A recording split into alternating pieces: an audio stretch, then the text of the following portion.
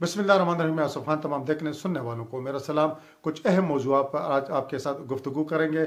और सबसे जो अहम ख़बर है वो तो आज यही है कि जो बरतानवी अखबार डेली मेल है, उन्होंने वज़ी अजम शहबाज शरीफ और उनके जो दामाद इमरान अली उनसे बाबा तौर पर माफ़ी मांग ली है और ये तस्लीम किया है कि शहबाज शरीफ ने कोई गलत काम नहीं किया।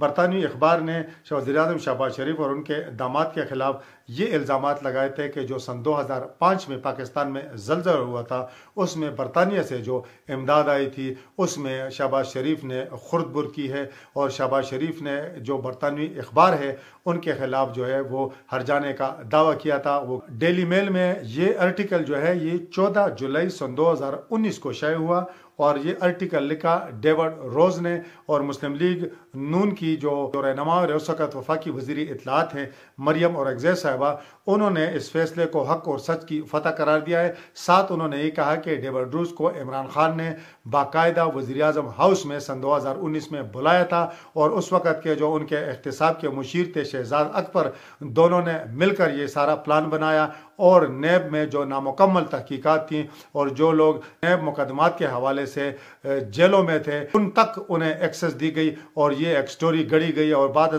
जब शहबाज शरीफ ने लंदन की ही अदालत में इसके खिलाफ हरजाने का केस किया तो डेविड रूज ने कहा कि मेरे पास सब सबूत है और आप जो करना चाहते हैं कर लें और हम सारे सबूत पेश करेंगे। लेकिन मरियम औरंगज़ेब ने कहा कि वो सबूत पेश नहीं कर सके और आज उन्होंने माफ़ी मांग ली है और अपनी वेबसाइट थे वो खबर हटा ली है जो शहबाज शरीफ पर जो इल्ज़ाम लगाए गए थे खुर्दबुर की और साथ उन्होंने उसकी जगह माफ़ीनामा शाया किया है कि जी हम माफ़ी के तलबगार हैं और हमसे गलती हुई है और शहबाज शरीफ ने कोई गलत काम नहीं किया।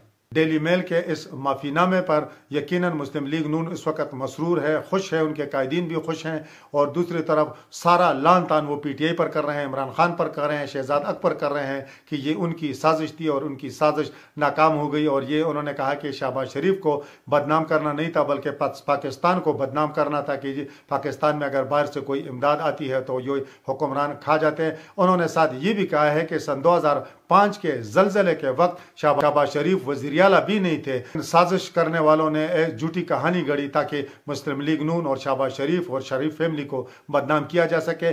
डेली मेल के इस केस में शाहबाज शरीफ की फतह यकीन पीटीआई और इमरान खान के इल्ज़ाम तराशियों पर भी बहुत बड़ा सवालिया निशान है, क्योंकि इमरान खान और पीटीआई वाले अक्सर मगरब के इंसाफ की मसाले देते हैं और स्पेशली इमरान खान जो है, वो बरतानिया के निज़ाम इंसाफ के खासे मुतरफ हैं और उनका यही कहना होता था कि बरतानिया में अगर नवाज़ शरीफ शहबाज शरीफ होते तो ये जेलों के अंदर होते तो अब डेली मेल ने भी माफ़ी मांग ली है और कहा जा रहा है कि इस इतवार को डेली मेल न सिर्फ़ अखबार में माफीनामा शाया करेगा, बल्कि अपने वेबसाइट पर भी बड़ा माफीनामा शाया करेगा। हम पिछले कुछ अरसे से देखें तो ये शरीफ फैमिली के हक में बरतानिया से कोई इस तरह का पहला फैसला नहीं आया। पहले जो ब्राशीट कंपनी हुकूमत पाकिस्तान ने बाकायदा हायर की थी और उनकी ये ड्यूटी थी कि वो नवाज़ शरीफ के खुफिया असासों की तहकीकत करेंगे, अपनी रिपोर्ट जो है वो सामने लाएँगे। तो कबल जो उसके सरबराह हैं, कावे मूसवी है, उन्हें ये माफ़ी भी मांगनी पड़ी और नवाज़ शरीफ के बैरूनी मुल्क वो कोई खुफिया असासे वो साबित नहीं कर सके। इस पर नवाज़ शरीफ से भी माफ़ी मांगते हैं। साथ साथ उन्होंने अपनी उस गुफ्तगु में कहा था, अगर आपको याद हो, उस वक्त की हुकूमत जिसके वज़ीर अजम इमरान खान थे, कि जी इमरान खान ने बाकायदा एक वज़ीर की ड्यूटी लगाई थी जो हमारे साथ मुसलसल रबते में था, लेकिन हम नवाज़ शरीफ के खिलाफ कोई चीज़ साबित नहीं कर सके, इसलिए मुझे माफ़ी मांगने में कोई आर नहीं है। आपको ये भी बताएँ कि उन तहकीकात पर हुकूमत पाकिस्तान के 10 अरब रुपए खर्च हुए, यानी नतीजा जिस तक, जिन तहकीकात का ज़ीरो निकला तो उस पर हुकूमत पाकिस्तान ने 10 अरब रुपए खर्च किए। और इसके अलावा एक और मशहूर केस था जो शहबाज शरीफ और उनके बेटे सलमान शहबाज के खिलाफ मनी लॉन्ड्रिंग का था लंदन के अदालत में, और जिसमें बरतानिया में उनके असासे भी मुंजमद हुए थे, और उसकी भी पी टी आई ने खासी धूम मचाई हुई थी। इमरान खान जो थे, उन्होंने भी इस केस को खासा उछाला था। ये ब्राडशीट का केस भी उन्होंने खासा उछाला था।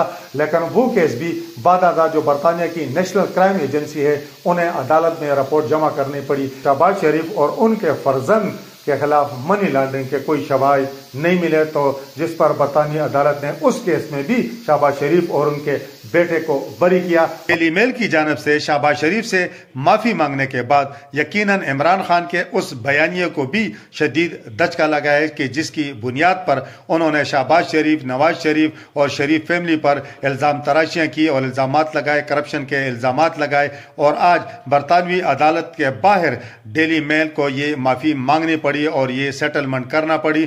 तो यकीनन हम फिर कहते हैं कि अगर कोई करप्शन करता है ख्वा वो नवाज़ शरीफ हो, शहबाज शरीफ हो या कोई और हो तो उसको सज़ा ज़रूर मिलनी चाहिए।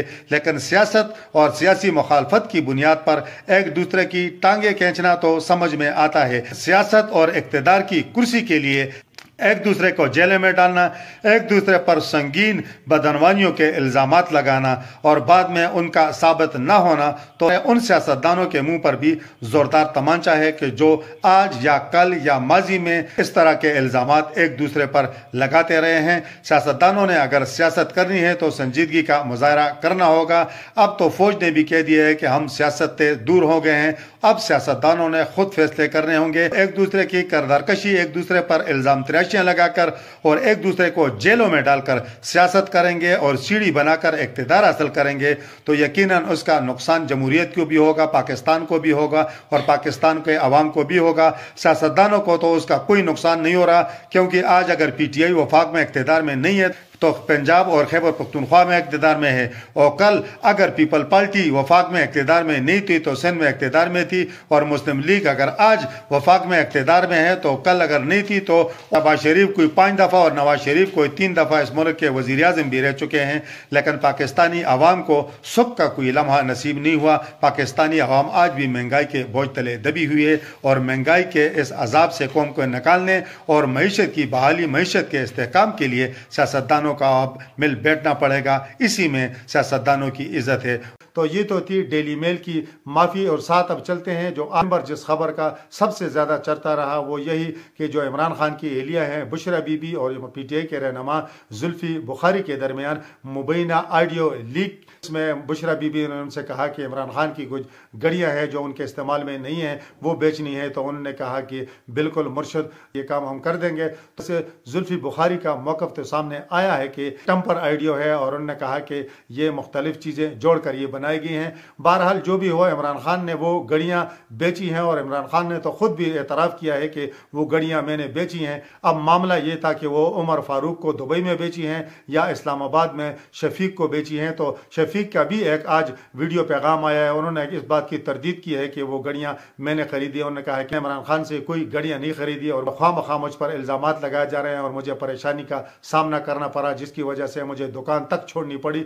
तो ये चीज़ें जो हैं, ये तो अब चल रही है। इल्ज़ाम तराशियों की जंग है पी टी आई के दरमियान और पी डी एम के दरमियान, मुस्लिम लीग नून के दरमियान। पी टी आई वाले मुस्लिम लीग नून वालों पर इल्ज़ाम लगते, लगाते रहे। अब P T I Muslim League Noon के जद में है जे यू आई के जद में है, पूरी पी डी एम के जद में है। इल्ज़ाम तराशियों की ये जंग जो है, ये तो जारी रहेगी। बारहा तो शाखाना केस के हवाले से इलेक्शन कमीशन अपना फैसला दे चुका है। अब ये गड़ियाँ किसने, किसको बेची हैं यकीन ये भी सामने आ जाएगा। पी टी आई और इमरान खान तो इस चीज़ का एतराफ़ कर चुके हैं कि मैंने गड़ियाँ बेची हैं। अब बेची किसको हैं, ये मसला है। तो मेरा ख्याल है इस पर तूफ़ान उठाने की ज़रूरत नहीं है। आखिर में आपके साथ गुफ्तु करेंगे। परवेज़ इलाही जिस और उनकी ख्वाहिश भी यही है कि इसम्बलियाँ जो है वो बरकरार रहें, ताकि जो हमने फ़ंड दिया है, वो इस्तेमाल हों। और जो पी टी आई के अरकान हैं, मुस्लिम लीग काफ के अरकान हैं, वो जब अगले इलेक्शन के लिए हल्कों में जाएँगे, ताकि वो आवाम को ये दिखा सके कि हमने फलां तरक्याती काम भी किया है। उनका तो अपने इंटरव्यू में भी जो गुजशत दिनों उन्होंने दिया था, ये कहा था कि बुजदार ने चार सालों में कोई काम नहीं किया।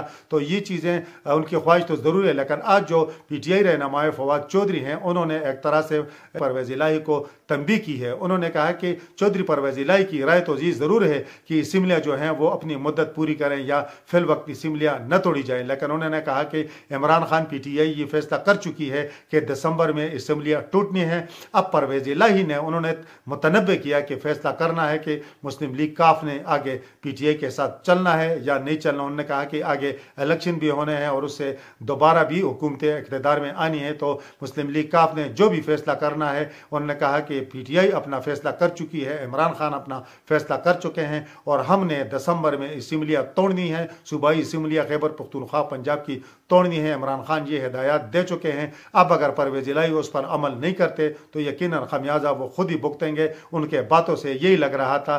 देखते हैं कि अब परवेज इलाई की ख्वाहिश गालब आती है या इमरान खान का हुक्म गालब आता है।